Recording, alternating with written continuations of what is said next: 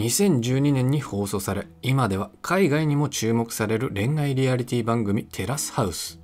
テラスハウスは見ず知らずの男女6人が共同生活する様子をただただ記録したものです。台本は一切ございません。と毎回冒頭で説明されるが果たして本当に台本はないのか。この問題は長年ファンの間で議論されてきた。やらせかやらせじゃないのか。一向に答えが出ない状況で僕はついにこの問題に終止符を打つ証拠を入手した。これを見れば一目でテラスハウスがやらせかやらせじゃないのかがわかるだろう。それではその証拠映像をご覧ください。みんな分かってる？俺たちが関わるこの計画がどんなにすごいかってことを。また始まったよ。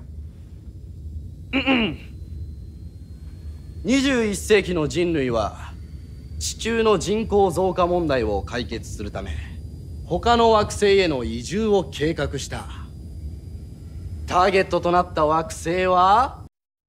この映像を見てえどういうこと？何が言いたいんだ？そう思った人もいると思う。ということで別バージョンも用意した。それを見てくれ。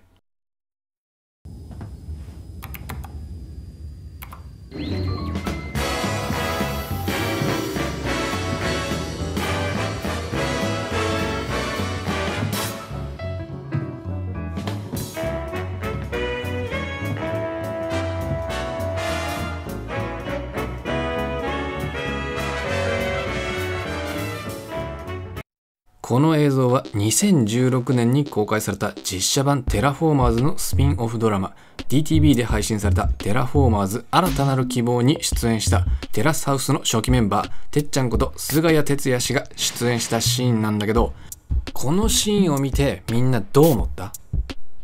そうだね。てっちゃん演技下手だなーって思ってね。今はわかんないよ。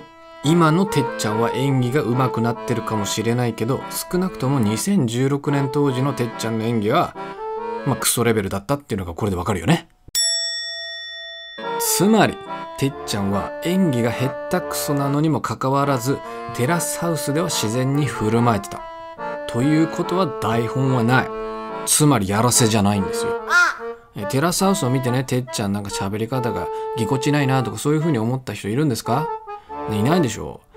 あの家の中ではあんなに自然に喋れるのに映画になるとこんなにぎこちなく演技しちゃうっていうのはそれはねやっぱりこれ台本がないからなんですね。ええこれでね分かっていただけたんじゃないでしょうか。という、えネタ動画でした。それでは今回の動画これで以上です。お疲れ。